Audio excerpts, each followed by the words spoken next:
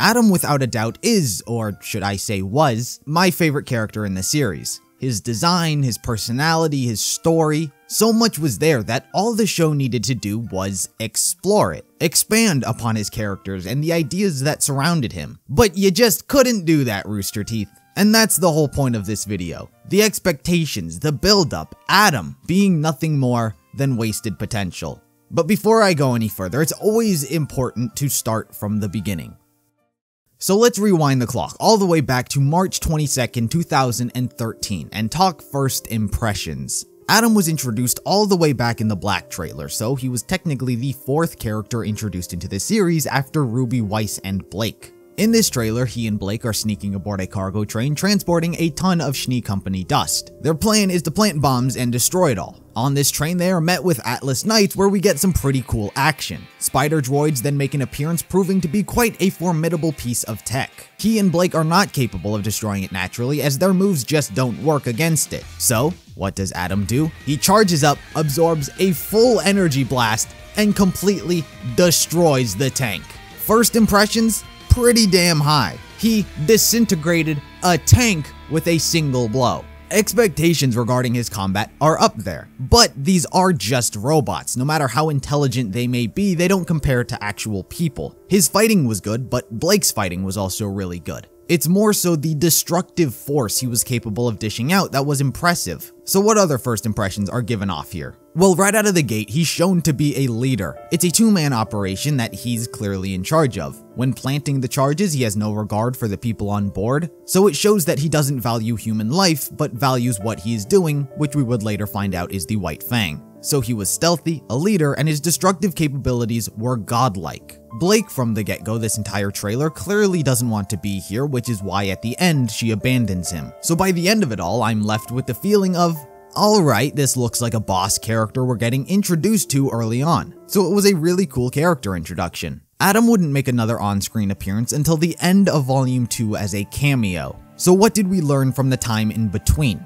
More lore is given about the White Fang itself, how a once peaceful organization began to become more extreme. While questionable to some faunists, the fact that it was getting results was good enough considering history has never changed. So we learn of these faunists that are part of this organization that are fighting for equality, or at this point to be feared because that's better than being discriminated. As said, Adam isn't here, but Blake does still talk about him. I had a partner named Adam. More of a mentor, actually. He always assured me that what we were doing would make the world a better place. But of course, his idea of a perfect future turned out to be not perfect for everyone. She describes him as someone who spiraled into a monster. She talks about how he believed in what he was doing, that this was the only way. Blake consistently talks about having different outlooks from him, which was ultimately the reason she ran. Adam walked that line of a gray character, that good and evil are arbitrary concepts. Yes, humans are being put down, but it's for the betterment of the faunus. He's doing it in the same way that's been the reverse for Remnant's history. Faunus have always been put down so humans can thrive, so is he really evil in doing what he's doing? when so many have done the exact same thing in reverse and continue to benefit off their suffering. The two had completely different outlooks about how faunus discrimination should be approached. It was the philosophies and ideologies that clashed between these two. It gave an interesting dynamic, how fighting for a good cause was both wrong, but also right. Blake herself even believed in the way they went about things for a while, and hundreds feel the same way. It was a well thought out concept to introduce a villain who isn't really a villain. How do you stop someone from leading a cause that helps faunus lives? It was a concept that would do nothing more but remain as a concept. Adam's next appearance takes place in a flashback in Volume 3 prior to the trailer's events. This is the lead up and recruitment to the fall of Beacon. Cinder approaches Adam attempting to convince him that assisting with Beacon's demise will help the Faunus be feared, as well as help Cinder's people. And this is where Adam's ideologies come into play. He refuses to assist Cinder in her plan because it is a human cause. He doesn't want to risk Faunus' lives for the cause of humans. It is something that he as a leader is fundamentally against. What you need is to leave. You are asking my men to die for your cause, a human cause. That is not an idea I am willing to entertain. It's not until Cinder returns later with some Fall Maiden powers in which his arm is forced into helping. either help or everyone gets killed. Once again, it's characterizing Adam as a leader who values the Faunus much more than he does humans. He's willing to do a job for Cinder if it means she won't slaughter his numbers. Given the scenario, it was his best bet. Next time we see Adam is the fall of Beacon. He unleashes Grimm, his troops, and he goes wild, and this is where the tracks become shaky. Blake up until this moment never described her and Adam's relationship as romantic. More of a mentor, actually. Adam continuously calls Blake my love here, which isn't the problem. The way his character has been established continues to expand here a bit, talking about a revolution and delivering justice to mankind, playing off already well established goals that drive him. Yang then enters the picture, and this is the moment where everything stems from. Before I go any further, a little pretext. Shane Newville, a former animator for the series and Monty's close friend, released a 36 page letter recounting his time working on the show after Monty died. It's quite the controversial letter. One of the things he mentions in here is the encounter between Adam, Yang, and Blake. According to him, the encounter was originally meant to be an all out brawl between the three of them, something he was personally excited for but was ultimately cut for an alternative scene. The thing about Adam is that at this point in the show, he had made almost no appearances that they could have taken him in whichever direction they wanted. He had a cool attack against the spider droid, but that was just a robot. According to Shane, some of the animation was already rendered of the fight between the three. He knew it wasn't going to be used for this moment where it was intended, but was told they'll find a place to use it down the road. We all know the direction this scene ended up taking it. Instead of being a fight between the three, they instead chose to have Adam one-shot Yang, removing her arm. The thing about this moment is, it was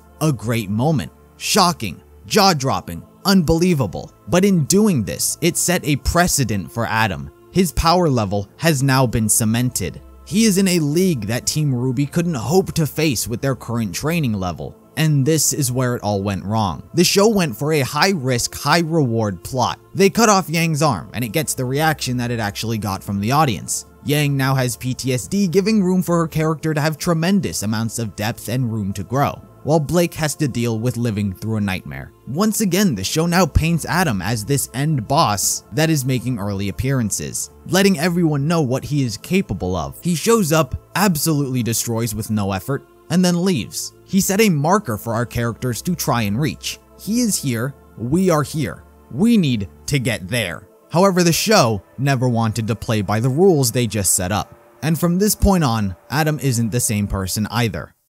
Volume 4, we're introduced to a new character named Ilia. What are some traits that I could use to describe her? Faunus, same as Adam. Part of the White Fang, Adam as well. Misguided, that's Adam. One-sided romantic feelings for Blake, Adam. I, I, I just described Adam, why do you exist? Hey, at least you have a tragic backstory. I mean, we don't know Adam, so at least you're standing out there.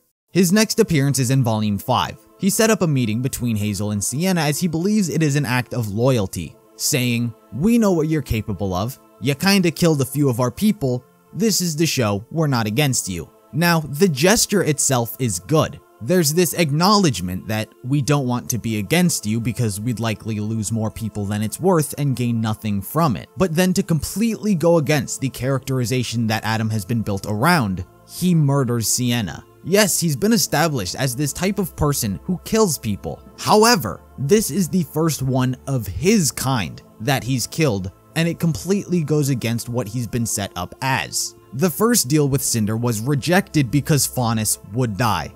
It was a threat that made him agree. Now he's murdering his own kind for the faction. It went against the Faunus cause he fought for. Now he's no longer a gray character. He's just evil. And Volume 5 just keeps that going. He goes through with the attack on Haven for no clear motivation, and once again attempts to kill not only one, but an entire horde of only Faunus, which single-handedly led to everything his character has been set up to be being erased. Because this action not only strips his care of the Faunus away, but it also gets rid of the one thing that was driving him, humans. Because of what they did, Blake now becomes the target Adam has his sights on. His story could have continued as a one-man apocalypse raising hell for humans. But the writers made the worst decision possible and they chose to have him chase Blake. The Faunus equality story, gone. Getting revenge on humans, gone. A romantic relationship plot? Check. Adam was a strong character, not only physically, but also because of how he was capable of rallying people. His leadership skills were equally as much of him as any of his other traits. Blake talks about being manipulated, but by her own admission, it was because Adam was capable of convincing the Faunus. Blake herself may have felt emotionally manipulated, but it's hard to manipulate hundreds of Faunus if what he said didn't hold weight. So his ability to rally people to a cause and rise up, his seemingly natural born leadership, he was more than just physically scary as an individual.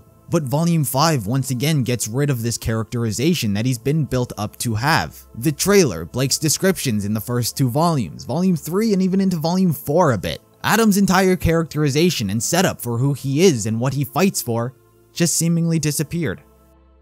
Or it would have if Ilia didn't exist. If you didn't catch on earlier, the reason I kept comparing Ilia to Adam is because she is Adam. After Volume 3, everything about Adam didn't seem right. Yet Ilia picks up right where he left off. She's the misguided one now. She's the one who fights for the Faunus. She legitimately stole Adam's character. There was never any need for her character to exist. By the looks of it, Adam was set up for redemption, or at the very least righted of his misguided wrongs. But Ilia comes into play, taking his character and becoming redeemed herself. Even simple concepts that could have been made to reinforce Adam and his actions weren't taken. Part of Adam's power came from the fact that Faunus liked the results he was getting. Perhaps they may have not liked his methods of doing so, but the fact that they were being treated differently was good enough. Yet not a single Faunus spoke out in support of Adam. Instead, they are all treated as cowards who are too afraid to stand up. They are all given the moral high ground, once again painting everything that is being done into a black and white scenario instead of introducing those shades of gray. Instead of having some characters refuse to try and stop Adam at Haven, not advocating for what he is doing, but willing to turn a blind eye if it means they would no longer be discriminated, showing that it's more than just right or wrong, good and evil, but instead it's almost as if the White Fang never meant anything from the beginning. Next is his character short, and it's pretty split as to how much of this represents Adam in which way. In my opinion, there are three scenes that are really good. The opening scene shows Adam donning the first ever White Fang mask leading a heist on some Schnee dust. It's very similar to his very first representation in the Black trailer. While there's no action, it still shows how even in the early stages of his life, he acts as a leader and is doing something for a reason. It was a very classic characterization that we once had of him, and same goes for the next scene. Here, the peaceful White Fang is blocked and attacked by humans. They haven't done anything, but yet they're still being shot at for no reason. Adam steps in and kicks all of their asses, but in the process ends up killing one of them. Ghira shuns him for killing, but Sienna praises him. Honestly, this moment in particular is more about Ghira and Sienna, but in terms of Adam, this is once again that moral ambiguity coming into play. He killed a man and seemed remorseful for having done it, but is he in the wrong for doing so? The White Fang did nothing wrong, and yet these people come at them with guns and blades. They intend to kill them. So by Adam killing someone to protect a group of innocent Faunus, is he really the bad guy? That gray line with his character is once again shown. The other scene that I liked was the other dust robbery. There's not much substance here, but I liked it. The scene with him and Blake on the roof is equally as good as it is bad. What this did right was once again show those early characterizations of Adam coming out. The way he and Blake talk and the clashing of perspectives. Adam believing that what he's doing is right, while Blake believing there is an alternative solution. However, there's this weird underlying connection between these two that just doesn't feel right. As talked about, Blake never described their relationship as romantic, but she acts in a way that is romantic. It's trying to pretend like they were a thing, but also trying to avoid actually confirming anything. And the throne scene was just terrible. I mean, there's no other word. The show tries really hard to show that Adam has changed. He's becoming more selfish. And there's a lot of the audience who believes that this is a good thing, that clearly you can see that he's changing, and that's so good for his character. But just because a character changes doesn't mean that it's for the better. It doesn't mean that he has more depth. It just means that a once interesting character who was a morally ambiguous gray character became boring. You can undevelop a character, and that's exactly what happened. It tries to show this progressional change, but all you can see is that he became wasted. One that the audience no longer cared about. Then comes Volume 6. The barometer for who he is and what he fights for has changed. The setup was always around 75% focus for the Faunus, 25 on Blake. But that percentage kept changing and changing until his care for the Faunus was reduced to zero and 100% on Blake. It's important to note that his focus regarding Blake didn't come out of nowhere. Every time Adam was on screen, a percentage of his attention would be on her, but it's about how much. There was always this divide between Faunus and her. But after Volume 3, everything began shifting in favor of Blake. I don't know how many times I have to say this, but Adam just isn't the same person after Volume 3. So he manages to stalk Blake all the way to Argus, where he somehow learns of her plan and intercepts her. A fight breaks out, and Yang once again shows up. And this is the moment that wraps all the way back to Volume 3. Like I said, Volume 3 set the standard for Adam. His power level was unmatched, but here Yang and Blake go toe to toe with him, despite any form of actual training. Blake legitimately, after the fall of Beacon, went on a boat, got home, went to Haven, and now she's here. There was no training of any kind on her end. Her skills didn't have time to develop because she was too concerned with gathering signatures. And Yang, despite some minimal sparring sessions with her father, it isn't enough to bring her to Volume 3's level. The thing about parts of this fight is that this is what Shane was referring to back in Volume 3. This was the sequence that was supposed to happen back then. It's why they're on equal footing, because at the time there wasn't meant to be such a power difference between them. Yang and Blake aren't on the same level they set up, but they still wanted to do the fight without having worked their way up to it. Adam's the final boss who's been set on very easy so you can win. And of course, his mask. Well, there goes the unique tragic backstory, Ilia. This reveal was so bad. Don't get me wrong, the brand is cool as hell. It explains Adam's past actions and why he's always been so dedicated to his cause, which makes it even more insulting that that's no longer who he is. This man isn't dedicated to helping the Faunus. He's killed so many of them that it's irrelevant.